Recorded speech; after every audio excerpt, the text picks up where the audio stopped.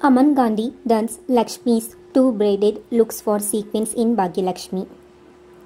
Bhagyalakshmi has been captivating the audience for the past two years with its engaging plot and interesting twists and turns in the lives of Lakshmi and Rishi. The show has gained a loyal fan base and the number of Rishmi fans is increasing day by day.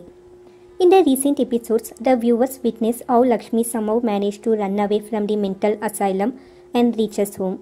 Subsequently, the doctors from the mental asylum reach Oberoi house in search of Lakshmi along with police.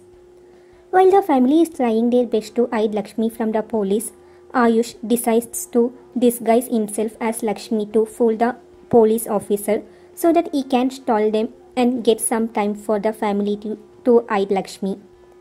In the ongoing sequence, the audience is loving this 7 year old childlike version of Lakshmi, but looks like Aman Gandhi is all set to ace the two braids and pink dress just like her, giving a tough competition to Aishwarya Khare.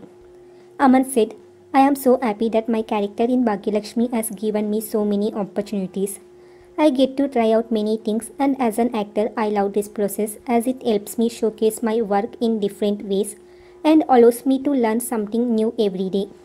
The character is so different that I would never get bored of it, and that's the beauty of Ayush. I really enjoy the little time I got to dress up like 7 year old Lakshmi, as it is very fun sequence where we are trying to hide Lakshmi from the mental asylum doctor and the cops. I just hope I have done justice to the track.